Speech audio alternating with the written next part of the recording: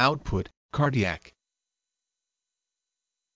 Output, cardiac, the amount of blood the heart pumps through the circulatory system in a minute. The amount of blood put out by the left ventricle of the heart in one contraction is called the stroke volume. The stroke volume and the heart rate determine the cardiac output. A normal adult has a cardiac output of 4.7 liters 5 quarts of blood per minute.